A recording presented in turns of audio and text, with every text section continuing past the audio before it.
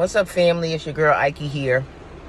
And I just want to do a quick video on the eve of the Derek Chauvin murder trial. Remember, Derek Chauvin is the police officer who is being tried in Minneapolis for second degree murder, manslaughter, and third degree murder. All right.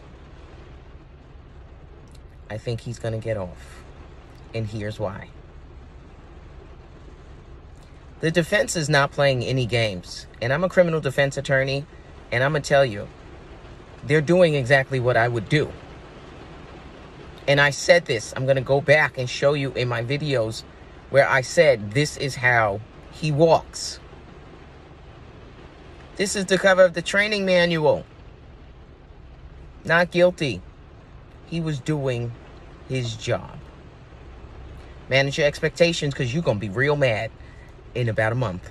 Mm, Ike speaks. I'm going to do a longer video for it. I'll let you know when it's out. Look for it.